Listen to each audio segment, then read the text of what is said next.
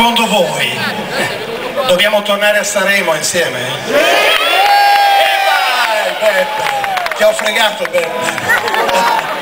Ragazzi, se andiamo a Sanremo, stavolta la macchina se la prestate voi, perché il gasolio è cresciuto. Ma voi venite a Sanremo? Per alzata di mano, chi viene a Sanremo? Guardate che io vi guardo in faccia, se manca qualcuno poi vengo a prendervi a casa. Un abbraccio a tutti, non mandiviamo. Ciao! Che Bruno non scherza, Bruno è uno che fa allenamenti, eh.